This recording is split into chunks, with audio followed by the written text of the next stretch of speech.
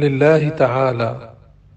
قال الشيخ عبد الله الهرري رضي الله عنه حديث إن البلايا أسرع إلى من يحبني من السيل إلى منتهاه. معناه الذي يحب الرسول محبة كاملة يكون بلاؤه شديدا. هذا يناسب علو درجاته.